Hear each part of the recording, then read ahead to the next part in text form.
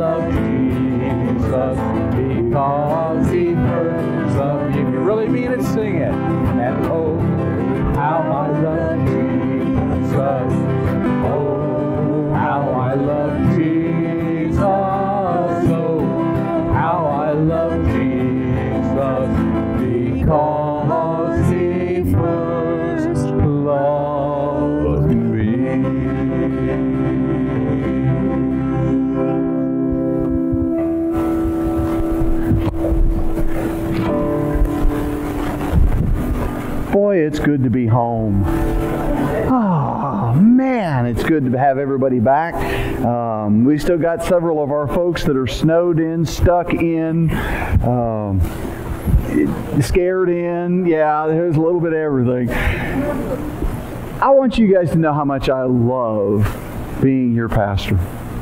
I, you know, how many gallons of water did y'all carry to somebody whose pipes were froze this week? How many meals got delivered to folks that couldn't get in and out? How many prescriptions got delivered this week because folks couldn't get in and out? How many of you were up under somebody else's house thawing a pipe and trying to get somebody's uh, house back together and fixing, repairing broken pipes and how many of you retrieved a car from a ditch for somebody? And and yesterday I come up here and the parking lot was cleared. Somebody hired that in and got it done. So we're out here and we're shoveling. And I just, Mickey wanted to put the stuff in the machine this morning, so- or yesterday instead of this morning. So we showed up and I figured, well, while she's putting stuff in the computer, I'll just shovel the dry, you know, shovel some of the areas and clean them up. Before I quit, I had six other folk out there with me shoveling and clearing stuff up. They just happened to be in the neighborhood and stop by. I love y'all. That's what it, church is supposed to look like. That's how the church is supposed to act. That's how the church takes care of each other. And every one of those things that I listed are things that I've heard through the grapevine or been told by somebody or actually was a part of. Every one of those things was done for us by one of us. And I'm just so proud of the way that this church demonstrates the love of God. How this body is trying desperately to be all that we can be for God. And I just wanted to commend you before God this morning as we open up our time of worship. Heavenly Father, as we come into your presence, as we come in to praise your name, as we come in to honor you, as we come in to give sacrifice of praise, give sacrifice of our lives, give sacrifice of our finances, give sacrifice of all that we are because we know that everything we have is a gift of you. Lord, we come into this place to celebrate your love for each and every one of us. We come into this place to celebrate our love one for another. We come to celebrate the ability to come together and celebrate. Thank you, Lord God, for your grace, for your love, for your strength. And I pray that you would receive these coming moments as a sacrifice of praise as we offer them up to you through prayer, through song, through study, through giving, and through communion. Lord God, I pray that you would be in the midst of this place. For you've told us where two or more are gathered, you're right here with us. So we know you're here. And I pray, Lord God, that we would not just recognize it, but that we would acknowledge it, that we would give you our hearts, our souls, our lives, that we would give you our all, for you are worthy of all of our praise. Through Christ our Lord. Amen.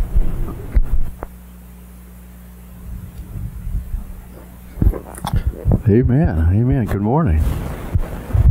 Well, happy belated Valentine's Day. Yeah, woo! I love it. I love it. Oh, I received a Valentine, very special one. That wasn't from Jennifer. It said in it, Michael, I love you more than you ever know. I love you when you were down. I love you when you were up. I love you through all the trials that you have been through. And I've always been there for you. You were my Valentine before you were born. And I just want you to know I love you with the greatest love that you will ever, ever know and fathom. Signed, your father, the great I am. Thank you, Lord, for being my Valentine. Let me read a couple scriptures to you on those same lines that he talks to all of us.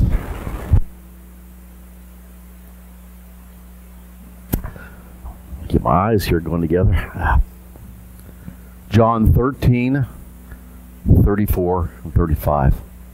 A new covenant I give you love one another as I love you, so you must love one another. By this, everyone who knows that you are my disciples, if you love one another. Amen. It's kind of hard to love some people, but the Bible tells us to love one another, no matter what race, creed, what they've done, and what they haven't done. Amen. Matthew 5:44. But I tell you, love your enemies and pray for them that persecute you. Corinthians, or 1 Corinthians 13 13. And now these three remain faith, hope, and love. But the greatest of these is love. Amen? Message from God. That's your Valentine. He was saying it last week, even if the snow came. Amen? And he said it your whole life through. Amen. Ah.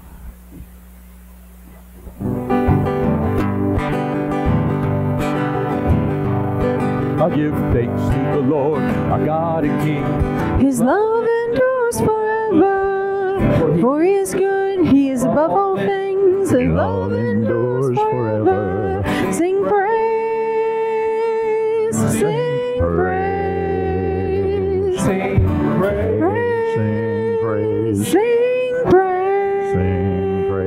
A mighty hand and an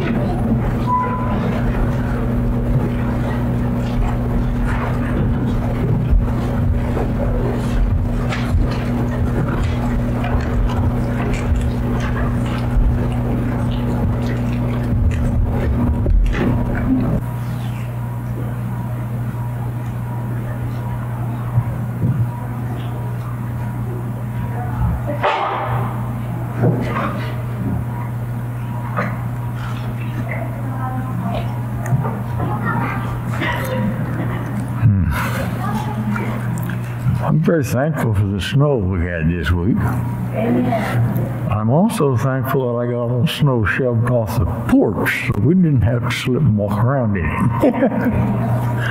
oh, I take this off, I? I'm afraid to, because every time I do, my hearing aids come out, my uh, glasses fall off, and the stupid string gets caught in both of them. but anyway, I'm just so thankful mm, that I can be here to look after some people that I love. And I'm thankful for this church as well. It's made me feel like I'm part of the family right from the first day that we were here. And I'm not saying that because my son's your, your leader, your pastor. He's also mine. Um, I've said several times before when he first started doing this thing, How in the world can a man of my age talk to my son about my problems? I'm supposed to talk to the pastor about that. Just so happens that he is the pastor about that. but I still love him and I love the Lord. And I'm supposed to be talking about that. I'm supposed to be doing this thing. All right, this is time for the. Uh, um, hmm.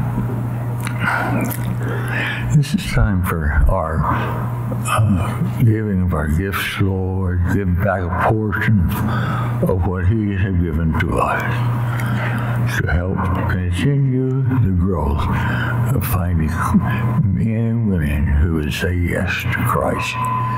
So we've got two plates, one on each, each door, as you leave here this morning or this afternoon, depending on how long he preaches. Uh, just uh, half an hour after one, you're going to quit, right? Okay.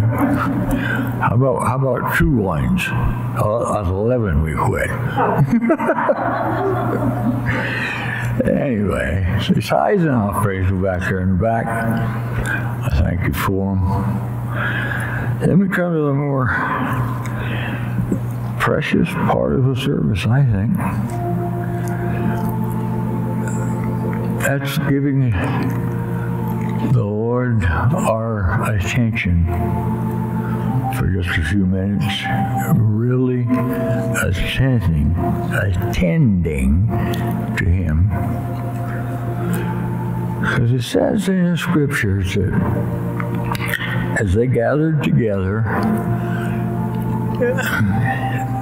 the Lord took a piece of bread, broke it, passed it around the room, and said, This is my body that is given for you.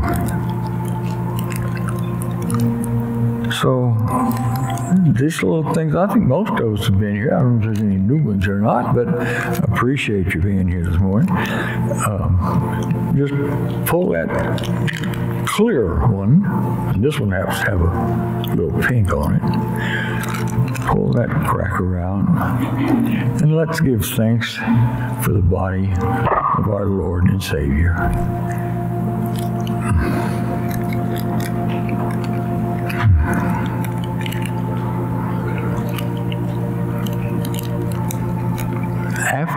Gone around the table with the cracker, he took a cup.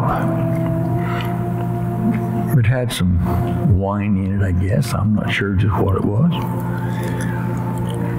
But he says, This is my body. This is my blood shed for you for the remission of your sins, that we might have a little bit better conversations. He said, Remember me every time you drink of this cup. For I'm not going to drink it with you until I come back. And then we're going to have a party. So let's give some thought to what he said. Let's give some movement to what he did.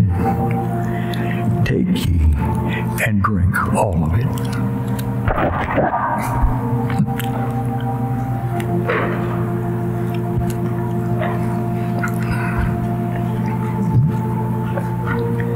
There's a trash can at the back of the by the doors as you leave this morning.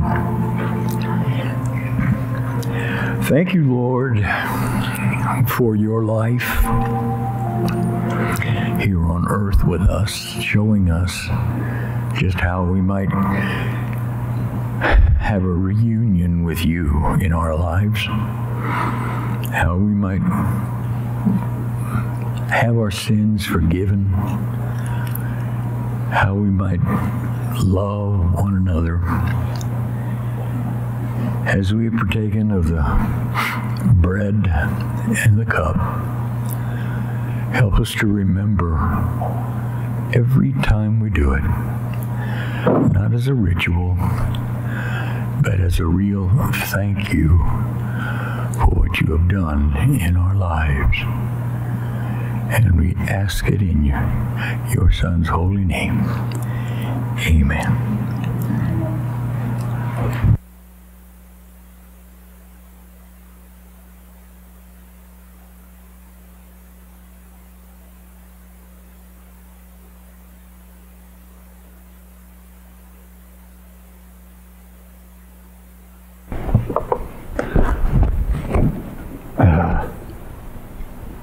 Good. Couple of housekeeping issues. Uh, young people are dismissed to Children's Church at this time if they'd like to go downstairs.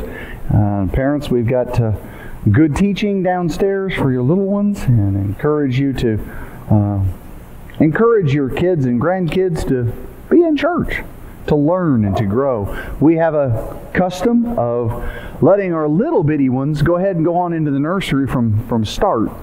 But we want to let the older ones begin to participate in our praise and our worship. And so we ask them, the, the ones that are three and four and up, that um, they're in here. So you know what? If we get a war howl out of a kid in the middle of a song, praise God. That's what they're here to do. And the Bible says they're supposed to make a joyful noise. Uh, and that doesn't mean it's always on key or in time with the music. And that's how we teach them and we train them. I don't know about you, but I, I can remember Sundays in, in, our church, we had the old wooden pews like you're here in the back. And I, I was up underneath one half of the services on Wednesday night or, or Sunday, learning and listening and hearing and being a part of what was going on, but not necessarily keeping my seat. Uh, Mom was a pianist at a church. You remember back in the 70s when they used to put skirts around the piano just in case the lady was wearing a skirt? That was my playpen. Mom would put me up under, I'd be up on the, on the podium, up underneath the piano while mom was leading praise and worship. And, you know, th- this is where kids are supposed to be. They're part of our family. And I'm so excited that we've got some young families that are here and sharing with us. So the children are dismissed at this time. And one other piece of housekeeping, and that is the reminder none of us want that yes, the masks are still required, especially during our singing. Um, and I was looking around as we were singing today, and I saw several that had their faces uh, exposed. Remember that when you cough or sneeze, that you can throw particulates up to 18 feet. It's no difference than when you're singing. Now, I don't mind. It's, you know, from time to time you need that break to, to, to expose, you know, get some fresh air in there. I get that. I'm just asking you to respect those around you and continue to protect one another as I know that you love each other. How low can you go? How bad can you get before you start recognizing who God is? And what he's up to. I'll be honest with you, I have thoroughly enjoyed being snowed in uh, because I have been dissecting our next book. When we finish John here in a couple, three weeks, I'm going to take a couple of weeks to deal with some topical sermons, and then we're going to dive into the book of Job. And it has been so much fun tearing Job apart and seeing what's going on in that. And I'm not going to give away any of the cookies yet, but there's some really, really good messages in Job about who is God and who are we. And so this teaching this morning parallels with that because it's a reminder of what God has done for us and what it is that we celebrate around this table, what it is that we celebrate in the world around us. Now, let's set the scene again. It's been a couple weeks because of the snow, and so I want to help you to, to as we've come through John, we're now in the 18th chapter of John. Jesus is now in custody. He's been arrested by the Pharisees, Sadducees, and the uh, leaders of the Jewish nation. He has lived out a full day Thursday, celebrated the Passover on that Thursday night with his disciples, taught them some really hard lessons, prophesied his death, prophesied Judas and Peter's betrayals of him, and then led the disciples through the Kidron Valley, prayed for them, prayed for us, prayed for unity, and then was arrested and drugged back up into town before Annas before being taken to Caiaphas, who was the high priest. So that's where we're at in this story. And so now it is early Friday morning. How early? Well, I'll tell you this the rooster has already crowed because that was Peter's story. So we're coming into this Friday morning as we pick up in verse 28. Then the Jews led Jesus from Caiaphas to the palace of the Roman governor. By now it was early morning, and to avoid ceremonial uncleanliness, the Jews did not enter the palace. They wanted to be able to eat the Passover. I'm going to stop right here and unpack this. John doesn't tell us anything of the trial before Caiaphas.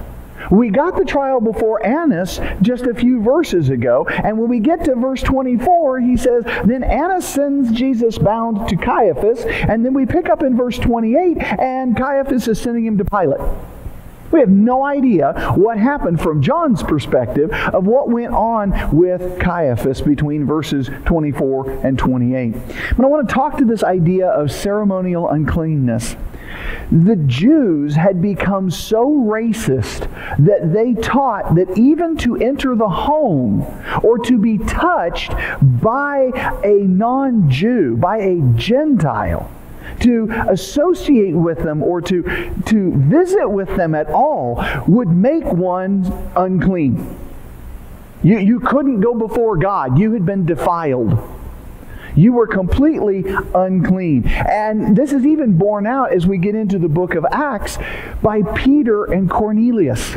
When Cornelius, a Gentile, calls for Peter because God tells him to, Peter is shown the, the tarp that comes down from heaven with unclean foods on it three times. And as we get into Acts chapter 10 and verse 28, Peter says to this household of Cornelius, You are well aware that it is against our law for a Jew to associate with a Gentile or to visit him. But God has shown me that I should not call any man impure or unclean. And so there was this huge misunderstanding because God, in the law that He gave to Moses, never said anything about stay away from the Gentiles. What He said was, don't make alliances.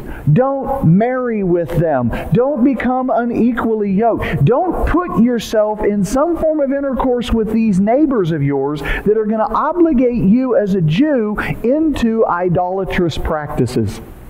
He said, These are the people who need redemption. You're my witnesses to the world. You're supposed to be a peculiar people. These folks are out here doing the wrong thing.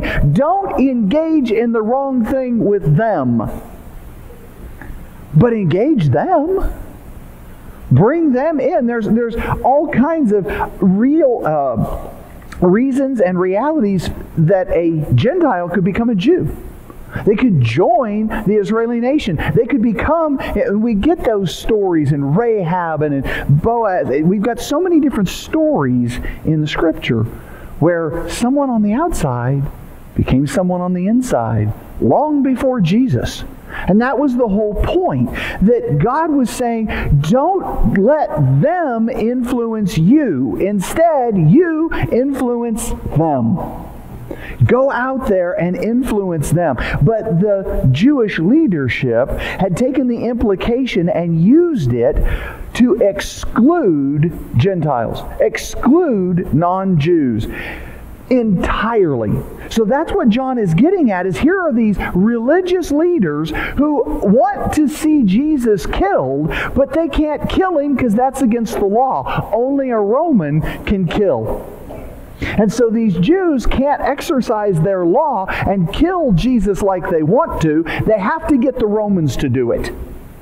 And so they have to go talk to Pilate because he's the governor. He's the jurisprudence in the area. He's the guy that gets to condemn Jesus. But they've got a problem. It's Friday morning. of Passover week. And if they go into his house, they're defiled. They are unclean and would remain so until evening and, and had a chance to cleanse themselves. Which means that for that entire day, because it's already early morning, it's for that entire day, they would be excluded from all rituals. These are the high priests. These are the leaders who would now be excluded from leading in these various different services. So it'd be like showing up for church and, and the minister isn't there. Can't be because I've been defiled. And so here's these huge opportunities for these guys to lead their people in worship in the coming hours. But if they go into Pilate's place now, they won't be able to because of these man made laws. Now, Passover was immediately followed by the Feast of Unleavened Bread. It's called an octave.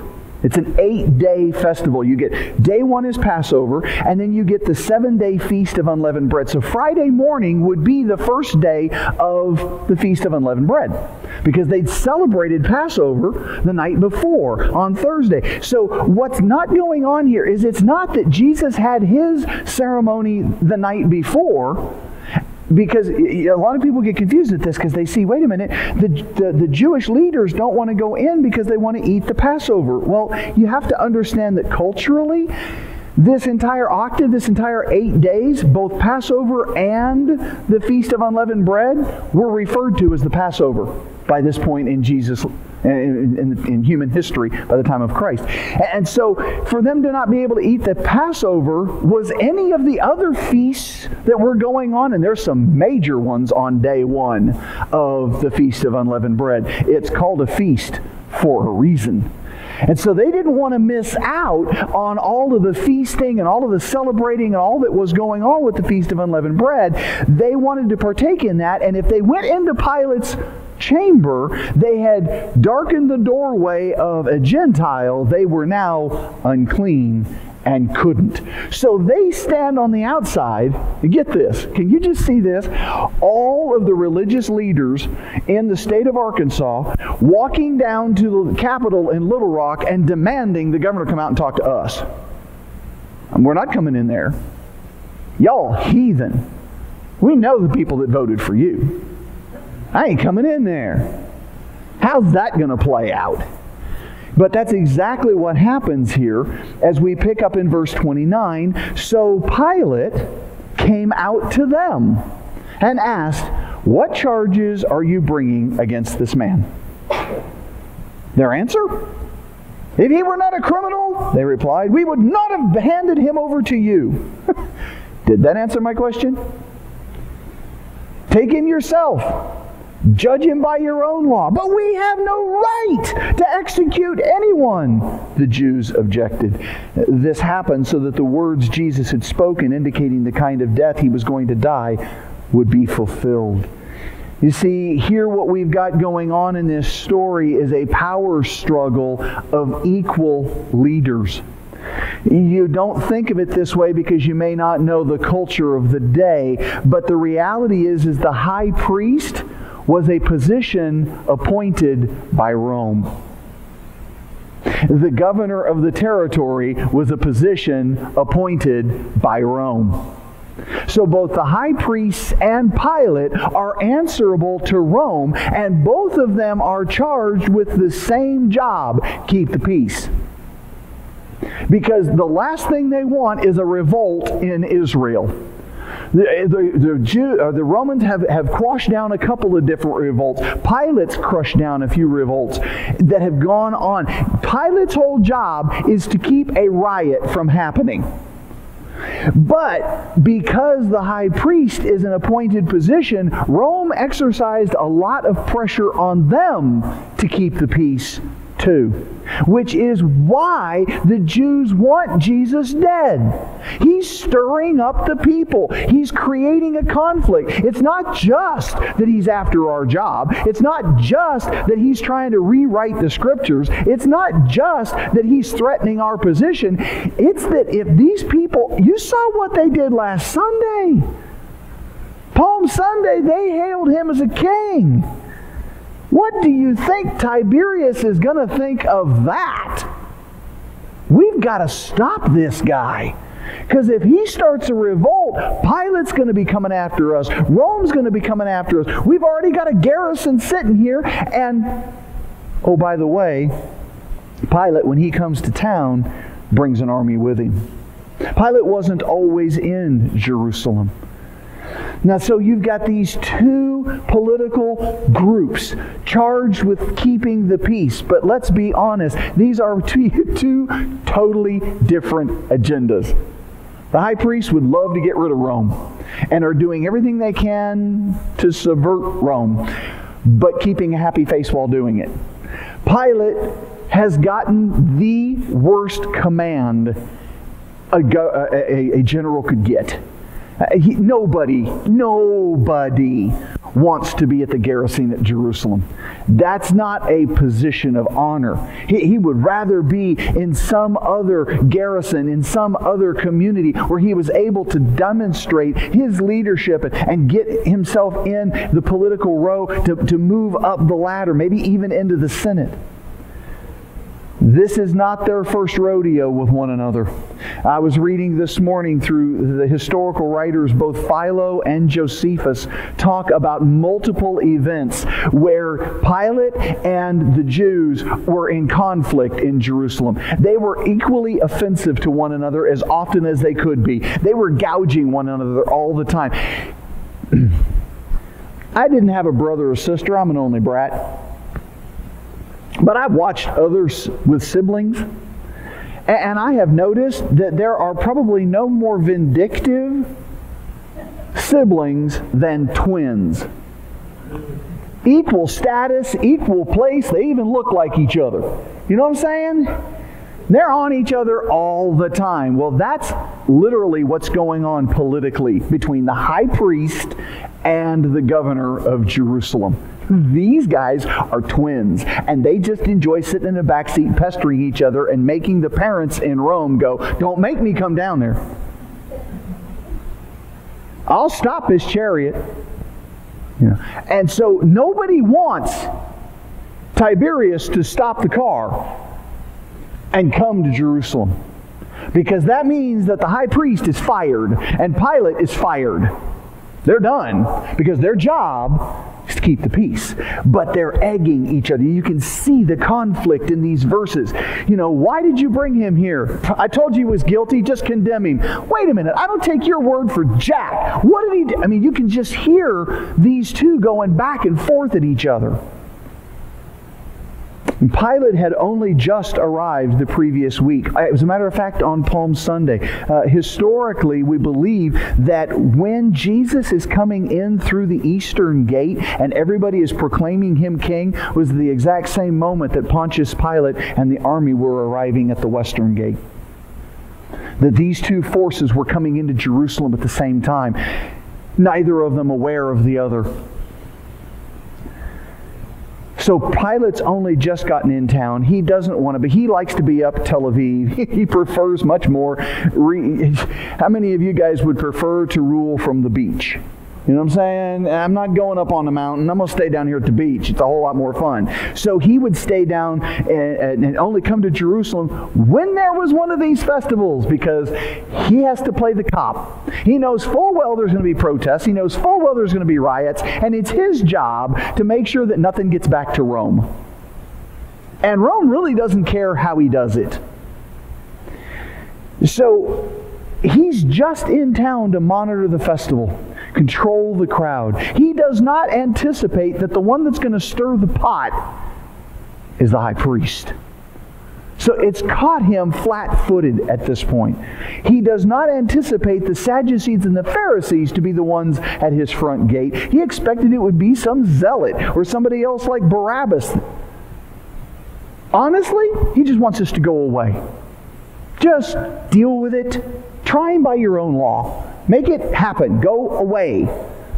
But the Jews are going to make this an issue. They make it the issue because under Roman law, a conquered people could not kill. The death penalty was reserved for the Roman courts because the Romans believed that they were the only ones that had a fair court. And so they weren't going to let some local tribe kill somebody over some local law. It had to get to the point that the Romans went, yeah, that is pretty bad. Go ahead and kill him. So capital punishment was ref- refused to anyone other than the Roman procurator. And so that's why they've come to him. That's why they've woken him up this morning. That's why they're messing with him right in the middle of the first day of this celebration. Pick up in verse 33.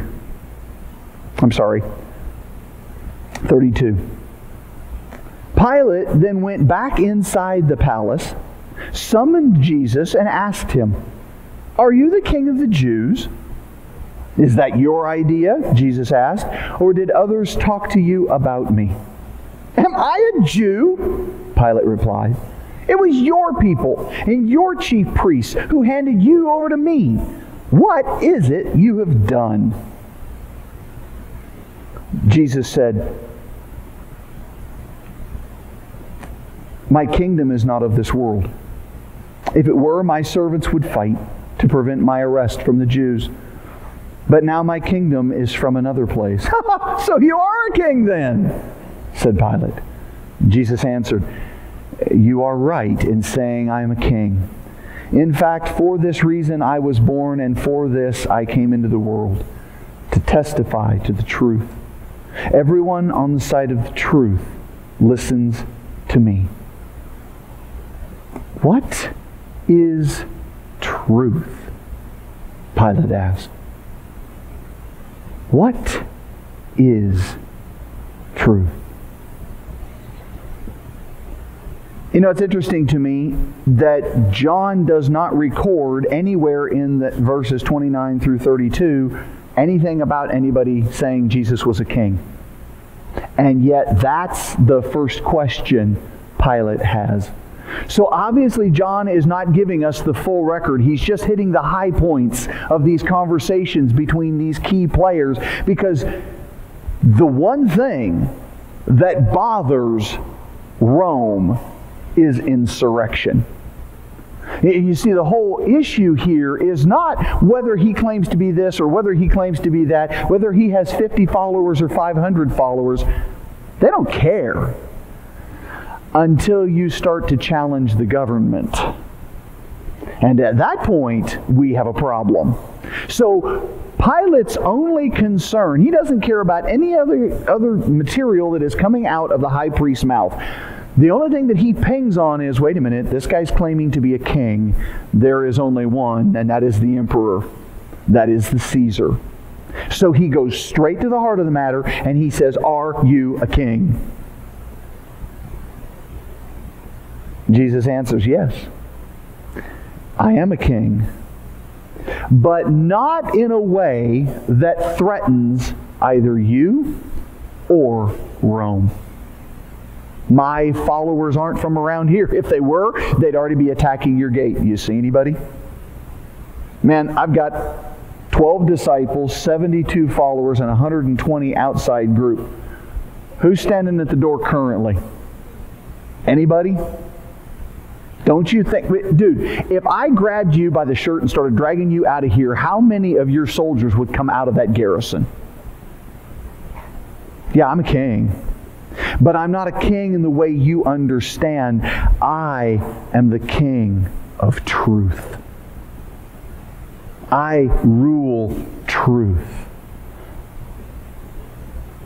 Pilate's dumbfounded by this. What is truth? That's a sorry state of affairs that you have a leader, a procurator over an area that does not know what truth is. This is not just a philosophical question. This is a down to the heart of the matter issue. And it's a sorry state of affairs, not just for Pilate, but for us as well today. It lingers even still among our culture. It lingers even still among our communities. How many of us have heard people say silly things like your truth and my truth? Truth that is situational rather than absolute. Truth that is fact, not opinion. You know, it's interesting. I was reading something here this last week where someone had done a study and they brought out the idea that people 49 and younger seem to be, in this modern day, better at identifying fact versus opinion than those who are 50 and older, which I thought was condemning. At least we taught them how to do it, but why aren't we? You know, why is it that we don't recognize the difference between fact, truth, and opinion, what I want? You see, what's going on here is this collective idea of is truth a universal or is truth just cultural? Is truth absolute or is truth just situational? And I would love to get into the whole apologetics of that, and then someday I may come back and, and preach a whole sermon on this topic. But just understand for those of you who love philosophy, you'll enjoy this one just for 30 seconds. To say that there is no absolute truth is an absolute truth. Philosophically, to make the statement, there is no absolute truth, is an absolute statement that you believe to be true. Therefore, it is an absolute truth. So you've just argued yourself under your own table. What is truth? Anybody remember a passage that said something along the lines of fear of the Lord is the beginning of wisdom? You see, the reality is it's not just a bumper sticker, it's a reality.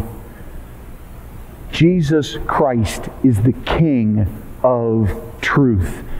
If you know Jesus, you know truth.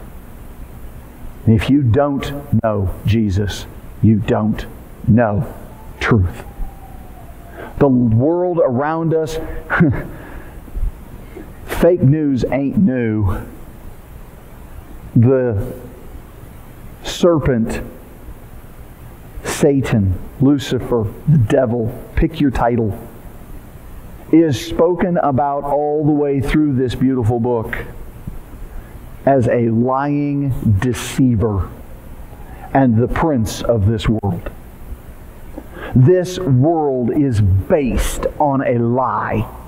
This world's governments are based on lies. This world's viewpoints are based on lies. This world's policies and procedures and approaches and goals and agendas are all based on lies.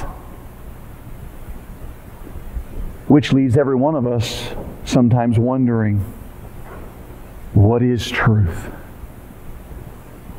It's tough. We'll come back to that some other time. Uh, picking up in verse 38. With this, he went out again to the Jews and said, I find no basis for charge against him. But it is your custom for me to release to you one prisoner at the time of Passover. Do you want me to release the king of the Jews? And they shouted back, No, not him. Give us Barabbas. Now, Barabbas had taken part in rebellion. And Pilate took Jesus and had him flogged. The soldiers twisted together a crown of thorns and put it on his head. They clothed him in a purple robe and went up to him again and again, saying, Hail, King of the Jews! And they struck him in the face. Once more, Pilate came out and said to the Jews, Look, I am bringing him out to you to let you know that I find no basis for a charge against him. When Jesus came out wearing the crown of thorns and the purple robe.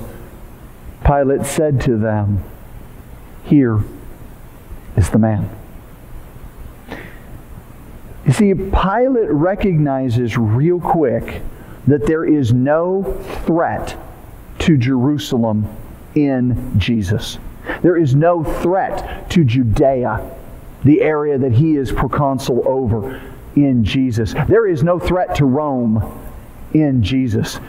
Therefore, by Roman law, there is nothing with which this governor has to accuse this man.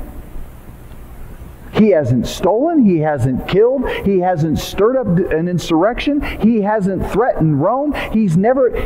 There is no charge against this man that would even get him arrested, much less killed. Go away. And so Pilate tries to negotiate a solution. Excuse me.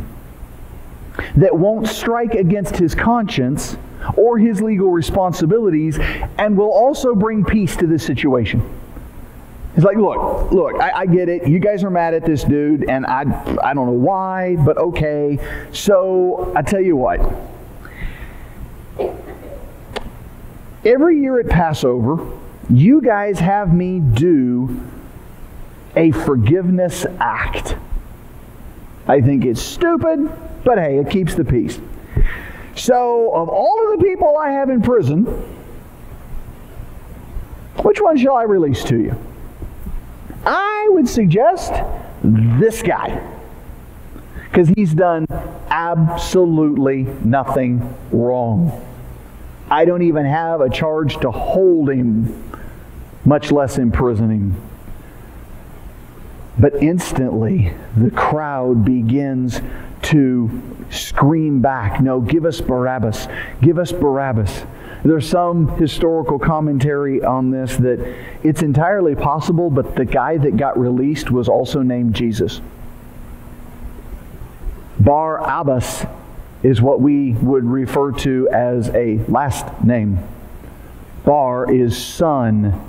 Abbas is father. So Barabbas is literally son of the father. The dude named his kid, that's my boy. You got to love it. Jesus would have been known as Bar Joseph because it was thought that he was the son of Joseph. So he would have been known in his community as Jesus Bar Joseph, Jesus, the son of Joseph. So all we know about this guy is that he's named after his dad. He's Bar Abbas. And so historians have, have given some conversation over the last 2,000 years of was it that Barabbas was actually named Yeshua or Joseph or um, Jesus or um, Joshua? It's the same name. And, and so to keep them separated, they were like, because if everybody started going, give us Jesus, they'd be like, good. It's like, no, no, no, no, give us the other one, Barabbas. Trying to get Jesus condemned. And Pilate recognizes at this point there's blood in the water and the sharks need fed. And so he goes to the next level. Okay, fine, we'll release Barabbas to you. Take him back in the hallway. I got it.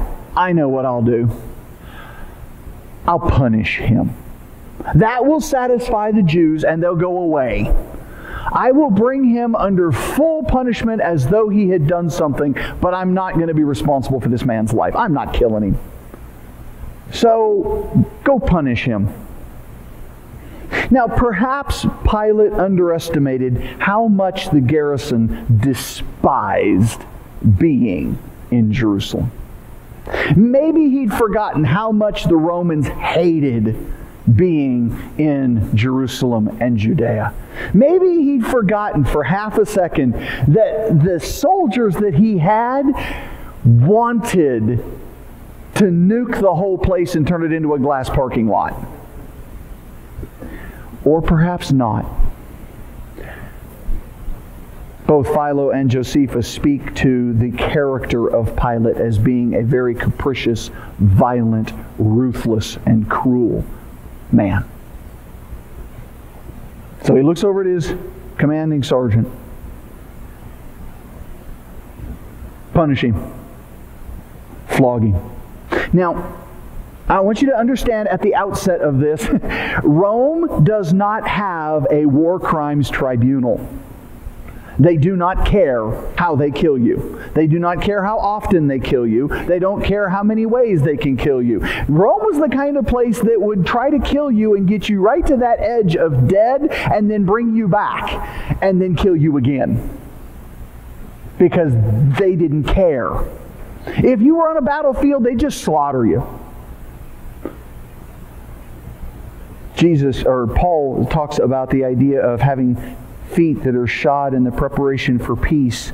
He's referencing the fact that Roman soldiers, when they went into battle, wore sandals that had spikes that were up to three or four inches thick, so that as they were slaughtering in the battlefield, they wouldn't slip in the blood and the guts. They could just stomp on the bodies that were there and let the cleats give them some traction in the people they were killing. The Romans don't care. They are not a police force. They are not a sane government. These are individuals who are serving, who get paid for the number of bodies they stack up. They don't care.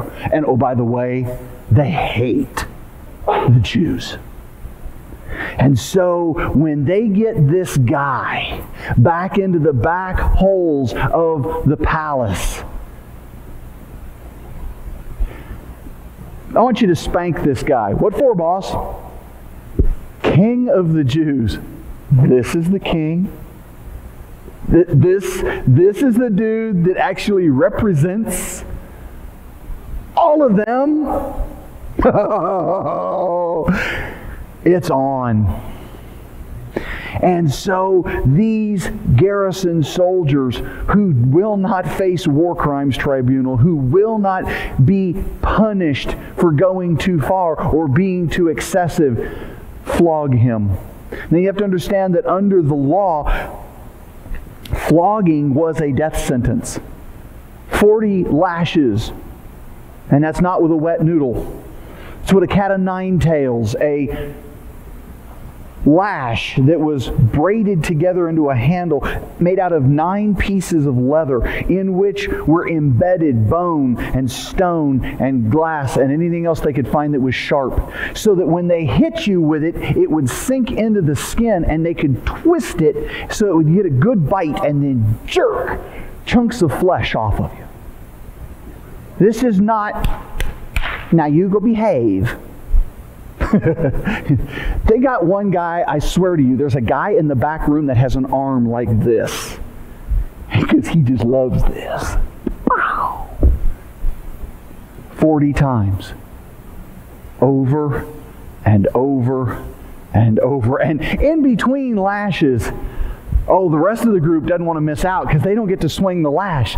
So they look around and they start finding some, some robe for him. There was, where's, man, Pilate's got to have one of, hey, go get the centurion's cape. And they bring it out and they throw it on his back. Hail, King of the Jews! oh, wait, wait, wait, wait. King needs a crown. Have you ever seen a hawthorn tree? You ever seen those trees that have those spikes on them? They're about yay long. I was going to cut one out, but I couldn't get to it in the snow. I got one out in my yard. You take that and you twist it and you braid it into itself, and you have this thing that has spikes everywhere. It's like irritating a porcupine. Okay, it just spikes everywhere. Well, you jam that down onto the head and it pierces and it penetrates, but it won't hurt you don't go through the skull, that's bone. That needle's not going to hurt it.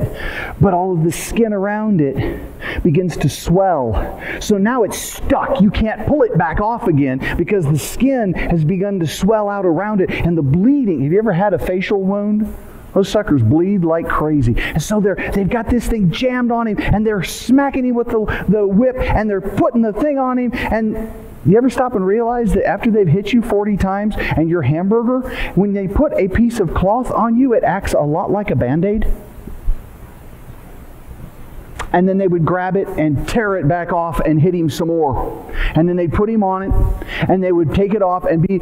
This man was a piece of walking hamburger by the time he comes back out. So when Pilate says, Here is the man, It's because the very people that handed him over just some little times earlier couldn't recognize him.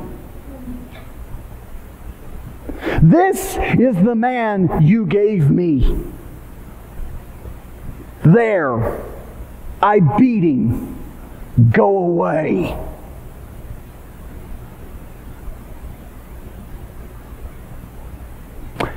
Verse 6. As soon as the chief priests and the officials saw him, they shouted, Crucify! Crucify! And Pilate answered, You take him and crucify him. As for me, I find no basis for a charge against him. The Jews insisted, We have a law, and according to that law, he must die because he claimed to be the Son of God. When Pilate heard this, he was even more afraid and went back inside the palace. The chief priests and officials are set on Jesus' crucifixion. There is no way he lives through this day. If Pontius Pilate kicks him out into the street, one of them will knife him.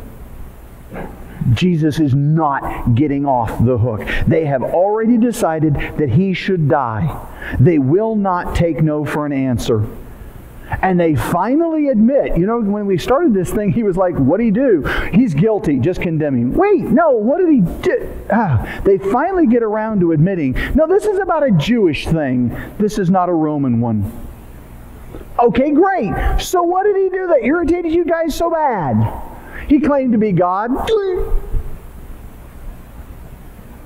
what if he is? How did you just set me up? He claimed to be the Son of God? Now, that may not seem much to us in our scientific world today, but do you have any idea how many gods there were in the Roman pantheon? Do you have any idea how many different of the gods showed up in mortal form in Roman religion? Pilate ain't a Jew. Pilate's a Roman. Pilate's belief system is different than theirs. So the idea that a God might show up as a man is not a weird thing. What have you just made me do? So he's afraid. He goes back in. Where do you come from? He asked Jesus. But Jesus gave him no answer. Do you refuse to speak to me? Pilate said. Don't you realize I have the power to either free you or to crucify you? Jesus answered, You would have no power over me if it were not given to you from above. Therefore, the one who handed me over to you is guilty of a greater sin. Where do you come from, O King of truth? Where is this kingdom of yours? How is it that you know truth? How is it that you understand these things? Please tell me you're not who they just said you are. Where did you come from? And Jesus remains absolutely silent. I think, and this is just me, I think it was to prevent gaining an ally. You realize that one encouraging word from Jesus and Pilate would have slaughtered the high priest. But you see, these things had to come to pass. Jesus knows if he says an encouraging word to Pilate, Pilate is going to defend him. Pilate will call out the garrison. Pilate will not let this evil thing happen. And so he remains silent because he doesn't want Pilate on his team.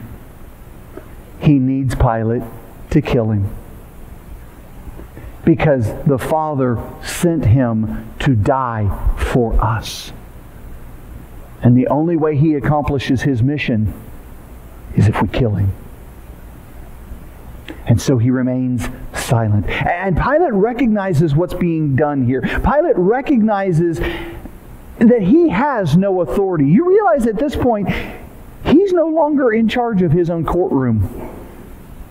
He is asking questions of a man not as an authority, but as a seeker. Who are you? Where did you come from? And so he's reduced to just playing the authority card because I said so. You ever get there as a parent? You know? You really don't have a decent argument, and so you just throw the authority card because I said so. Do you not realize, and I want to put this in slightly different words because I think it carries the meaning a little clearer, but here's what Pilate really said to Jesus Do you realize I hold the power of life and death over you?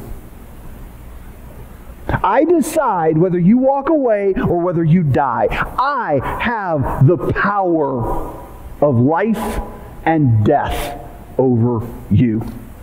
well, friend, you're speaking to the God of truth. and Jesus stomps him with truth. You are God's servant. So, wait a minute, that's not in that verse. Certainly it is. Look at what he says. You have no power over me except that it's been given to you from above. The only authority you have over me is the fact that God has put you here in this time to do this act because this is what's required. You're not in control. You are sinning. Your sin is injustice. But the sin of betraying God and His Messiah is an even greater sin that rests at the feet of the ones that turned me over to you. Do what you need to do. I'm not after you. It's them that brought me to you that are guilty of the greater sin. So now we get to verse 12. Pilate hears this. He, he brings Jesus out I'm sorry. From then on, Pilate tried to set Jesus free. But the Jews kept shouting, If you let this man go, you are no friend of Caesar. Anyone who claims to be a king opposes Caesar. When Pilate heard this, he brought Jesus out and sat down on the judge's seat at a place known as the stone pavement, which in Aramaic is Gabbatha. It was the day of preparation of Passover week, about the sixth hour. Here is your king, Pilate said to the Jews. But they shouted, Take him away! Take him away! Crucify him! Shall I crucify your king? Pilate asked. We have no king but Caesar! The chief priests answered. Finally, Pilate handed him over to them to be crucified. The emotion wells up in me because here in this moment, Pilate is once again trying desperately to make this go away. And it's at this point that the Jews play their political trump card. What the Bible doesn't explain to us that we get out of the historical writings of Rome is that Pilate let me back up. In Rome, you only got somewhere by going on somebody else's coattails. You had to have a benefactor. And as long as that benefactor was so you have the the the emperor has his circle of people that he relies on and each of those people have people that they're trying to put into you know graft has always existed you know hey we'll vote for you if you let my little brother serve on and so you only got places in Roman politics by who you knew. And what had happened about 15 years earlier, and the reason that Pilate was in Jerusalem, is that Pilate's benefactor was an individual that was in the close arena to the emperor. And he displeased the emperor. And so Pilate lost his benefactor. But because Pilate was not engaged in the activity that the benefactor was engaged in, he doesn't get punished. He doesn't get killed. The benefactor gets killed. Pilate gets sent to Jerusalem, shoved off in the armpit of the Roman Empire. Just go away. The interesting thing is that in all of the Roman writings, the charge that was leveled against Pilate's benefactor that he was no friend of Caesar. The chief priests knew this because they had their own political dealings in Rome. And so they knew this was close to home. They knew what they're saying to him is, You are no friend of Caesar. I am going to write a letter to Rome that accuses you of treason. I will take you out the same way your benefactor was taken out some years ago. I will report that there was an insurrection that we had to put down because you failed to.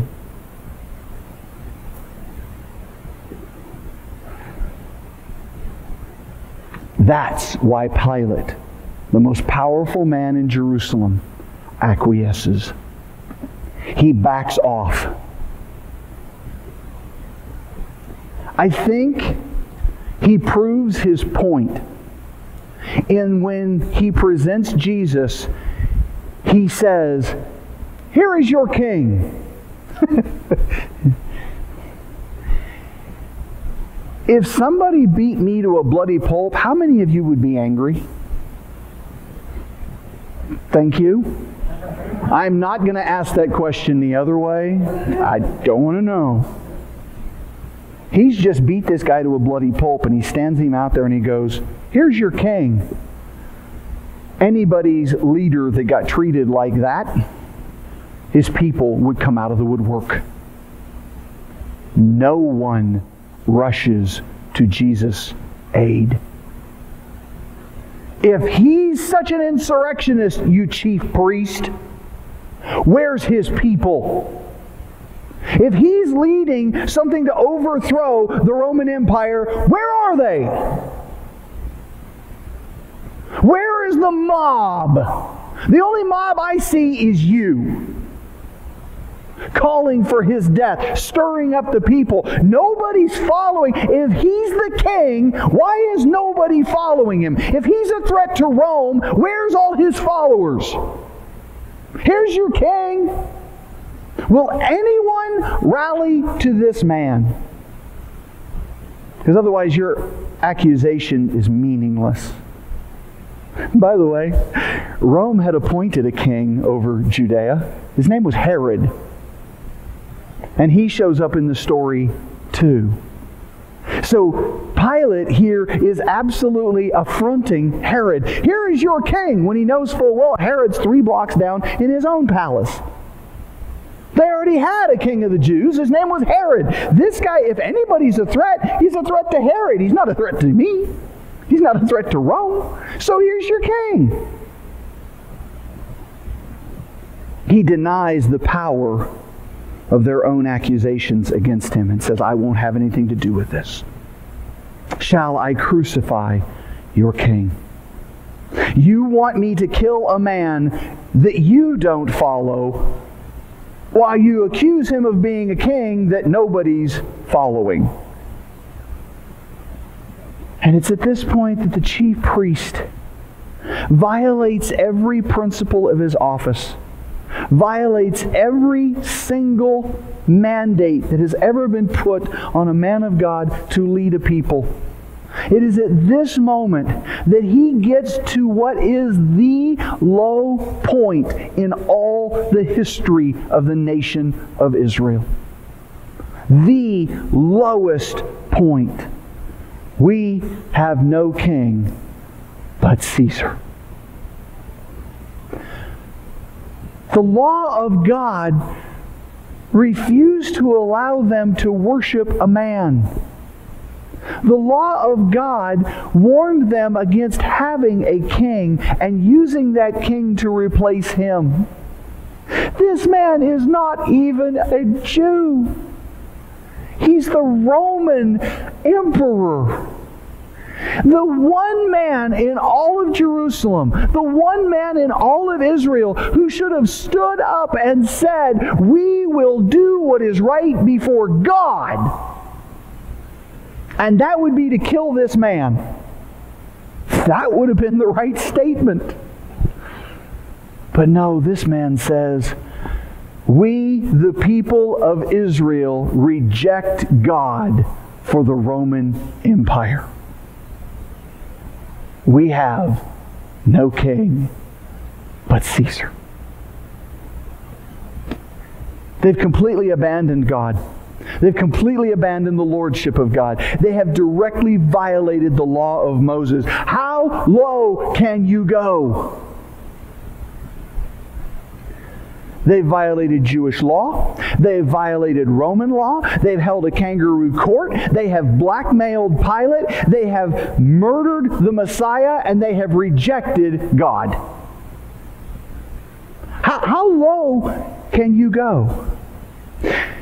And I want to speak historically for just a moment to the idea of why some of the early church fathers spoke so vehemently against the Jews and why some of the later Middle uh, Ages German theologians, their writings were so anti Semitic, and they were. There's, there's nothing to hide there. They were absolutely anti Semitic because they failed to understand that this was not a Jewish issue. The Jews did not kill Jesus, our sin did. The Gentiles didn't kill Jesus. Our sin did. It wasn't the act of man. It was an act of God. You see, what the early theologians and early church fathers lost sight of in their anger at the Jews for killing their leader was that this was not a them issue. It's their fault.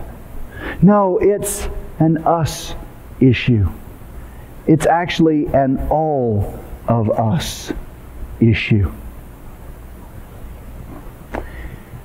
To put this in perspective, to have an accurate understanding of what's going on in this scene,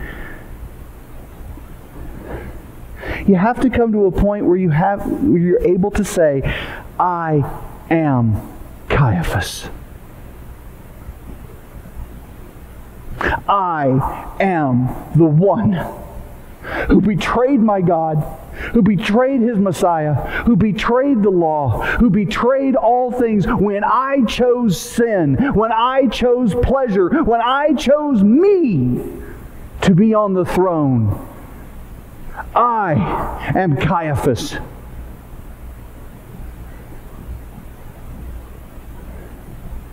Romans chapter 5 verses 6 through 11, Paul captures this and gives us something that brings us to the fireworks of the reality of what's happening in this scene. In chapter 5 of Romans, picking up in verse 6, Paul writes, You see, just the right time when we were still powerless. you have no power except that it's given unto you by the. While we were yet powerless, Christ died for the ungodly. Very rarely will anyone die for a righteous man, though for a good man someone might possibly dare to die. But God demonstrates His own love for us in this that while we were still sinners, Christ died for us. Woo-hoo! Dry those tears up, friends. They should be tears of joy, not tears of remorse. The reality is, while we were still sinning, while we were yelling, crucify, while we said we had no king but Caesar, Jesus died to pay that penalty for us. Even in the midst of our sin, He didn't wait for us to clean ourselves up. Friends, if you think you can clean yourself up enough to get God on your side, you miss the point of the cross. If we could do that, Jesus doesn't need to die. The reality is, He has given us this gift because of His love for us. And since we have now been justified by His blood, how much more shall we be saved from God's wrath through him? For if, when we were God's enemies, we were reconciled to him through death of his Son, how much more, having been re- reconciled, shall we be saved through his life? Not only is this so, but we also rejoice in God through our Lord Jesus Christ, through whom we have now received reconciliation. Guys, do you get what Paul is helping us with here? Do you understand that Jesus' silence in front of Pilate was so that Pilate would kill him, so that he could redeem Pilate? He did not die on the cross mocking Caiaphas. He died on the cross shedding his blood to atone for Caiaphas. The fact that Jesus died even while we were sinners, now that we are reconciled to him, if he loves us enough to die for us when we suck, how much more will He give Himself to us now that we are sons and daughters? The thing about Jesus in this scene with Pilate is that he could have declared his kingship, his ownership of the world, and that would have only demonstrated his love for himself. Jesus demonstrated his love for us and that while we were jacked up and still doing the wrong things, He saved us anyway. If He loves us enough to do that, now that we are sons and daughters, now that we can cry out to Him, Abba, Father, now we can crawl up. You get this? You get to crawl up into the lap of the King of Kings and the Lord of Lords. You get to come up to the Master of the universe and wrap your arms around Him and give Him a great big old hug. That is why He finishes. This is what we get. Not only all of this, but it's why we get to rejoice in God through Christ. We've been reconciled not of ourselves, but of His death, His atonement, His blood. And so we can celebrate. Dad was talking earlier at the time of communion about Jesus saying, Look, guys, I'm not going to have any wine until I come back because then it's going to be a serious party. I want you to go back to Jesus' teaching of the prodigal son. What does the old man do when the boy comes home? I cannot wait to see the God of all the universe, Father God in all of His glory, rise up off of his throne and run to the city gate to wrap his arms around me and throw a ring on my finger and throw a robe on my back and to kill the fatted calf and to celebrate and to have a feast that will last for eternity. Heaven isn't about golden streets and big buildings. Heaven is about being in that relationship with Jesus Christ forever. Heaven is all about this beautiful, eternal hug that we get from the love of God. How low can you go? God's love went deeper. And He pulled you out of a miry clay and set your feet on a rock. Celebrate that reality. You may be here this morning and may not be in a relationship with Christ. You may not have a clue in the world what I'm talking about. The only thing you know is the torture and the torment of your own sin, your own grief, your own background, your own junk. And you're like, dude, I don't even get what you're talking about. How could anybody love me? You don't know what I've done. Yes, God does, and He died for you anyway. He died for you anyway. It's already forgiven. The only difference is you haven't claimed it. You can do that today. If you have not yet claimed Christ as your own, it's that simple. Lord, I'm jacked up. I need help. You're the helper. I'm yours. That's it. And when we receive that forgiveness, we then get all of the celebration of the pleasure of a merciful and loving God. You Bow your heads with me. Heavenly Father, as we close out this service, I don't want to quit There is so much that could be said in your glory. There could be so much said to say of your honor and of who you are and what you've done and what you continue to do. How great is your love for us? How deep and profound is the gift that you have given to us? You love us beyond what we understand. We confuse love with lust. We confuse love with warm feelings. We confuse love with, as long as you're convenient to me, I'll be liking you. But you demonstrate your love in this while we are yet sinners. You die for us. You reconcile us to yourself, even in the midst of our sin. If you love us enough to go into that dark place to pull us out, how much more will you love us in the light? Lord God, help us to remember who we are and whose we are that we might fully celebrate as you would have us to celebrate, that we might be that remorseful until we are forgiven, and that we would remorse no more. For you are not a God of shame. You are not a God of regret. You are a God of reconciliation. You are a God of redemption. You are a God of praise. You are a God of adoration. You are a God of love and mercy and grace. And we give you glory and honor and thanksgiving because of it. We stand this morning and we shout your name. We proclaim you to the heavens. We give you all glory and honor and praise and thanksgiving. For you alone are love and you alone are God. And we are yours. Amen.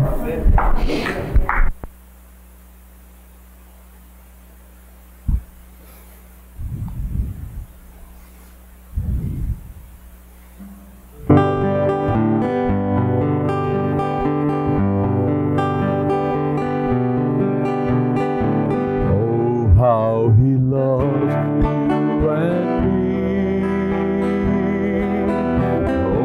oh, you